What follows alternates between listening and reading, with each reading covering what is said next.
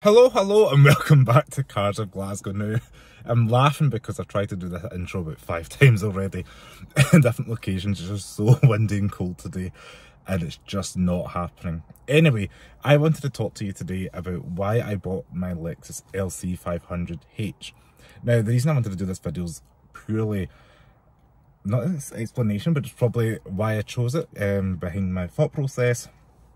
I get a lot of comments on the Facebook groups for this car, um, and some people seem to this the LC500H, which I don't get why because if you're an LC fan, surely like both. So for anybody unaware, the Lexus LC came out as the LF LC concept, I think late 2012. Uh, it was designed by the Californian Lexus department um, and it is a luxury coupe coupe, depending what part of the world you're in, um, designed to kind of replace the SC that we had from the 90s, the SC430, which was a coupe convertible from the noughties.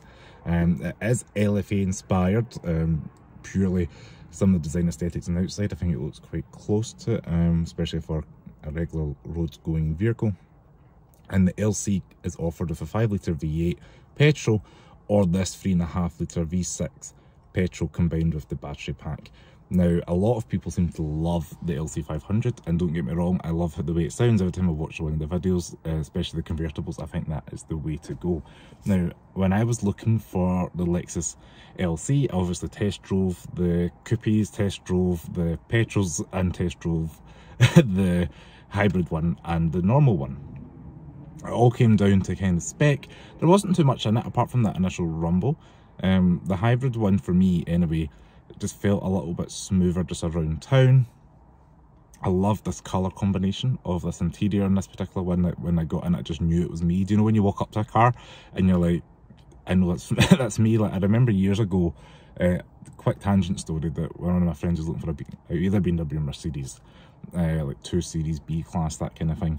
And this active tourer came round. We were down in the Giffnock branch at the time, and as soon as it came round, he was like, that's for me, before even test driving, before getting in it.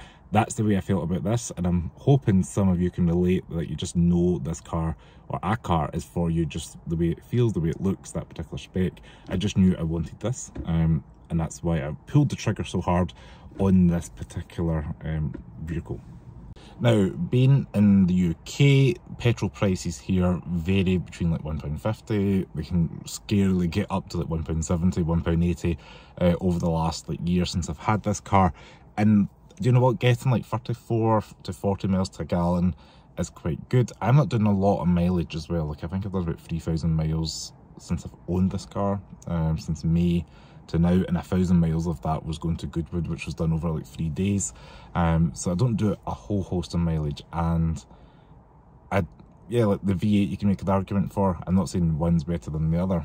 Uh, it just depends what you're after but just for me that's what sold me on this was the spec the way it drives in terms of just the smoothness around town and probably because my parents have had Lexus hybrids as well, I'm just used to it.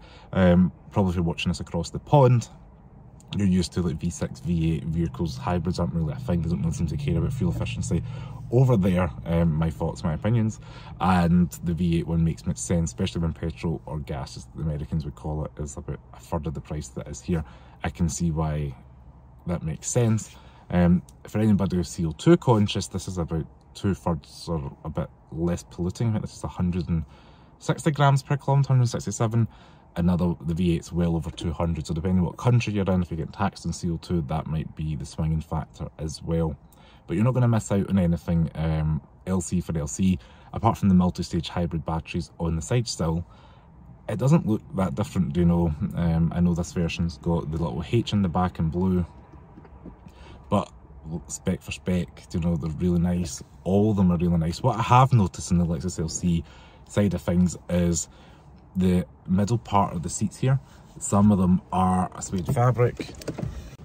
I seem to get distracted on by the LC, but anyway, the whatever one you go for, please be assured you're going to be in for a treat. These are just great vehicles. I have just had mine serviced. Well, I mentioned that, being an owner, the service plan is £99 and so many pennies a month. So that is something to consider and it is worth taking your car to the Lexus dealer because it just keeps up the warranty for the next year because you do get a 10 year warranty up to 100,000 miles with the Lexus products. And that just makes sense for me uh, especially being a car maybe you just don't want them to take the risk of it. Just helps give you that peace of mind especially if the batteries and maybe the two transmissions in this particular car um, it's worth keeping that in mind. Um, even for the smaller cars like the IS I have seen people that have maybe bought one that's nine years old 140,000 miles whatever it may be um, and maybe it's not had a warranty check for like two or three years and they're having to pay like 1500 pound 2000 pound for a battery um, that's just something I would rather do without.